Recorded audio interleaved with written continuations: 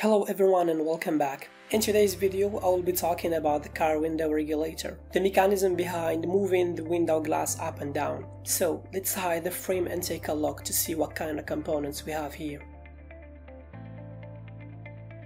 First, we have the glass window, two arms and two channel guides, the main and sub arms. And we have a sector gear riveted to the main arm and an electric motor and its pinion. For simplification purposes, there are some parts added in model, such as the motor bracket, running channels and two clips, also known as the glass holders. And finally, the spiral spring that goes loaded against gravity when moving up the glass so it doesn't fall. Now let's take a closer look at the mechanism in action.